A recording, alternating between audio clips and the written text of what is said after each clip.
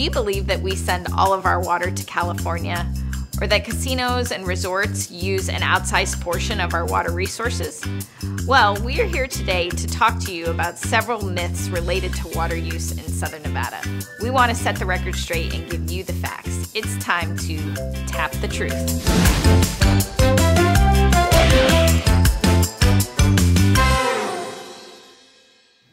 I'm Colby Pellegrino, Deputy General Manager of Resources for the Southern Nevada Water Authority. And our topic for this edition of Tap the Truth is Boy, we're getting a lot of rain lately. That must mean we're out of the drought, or Lake Mead must be filling up again, right? Wrong. Uh, the answer here is actually hard to grasp when you sit here locally and see what happens.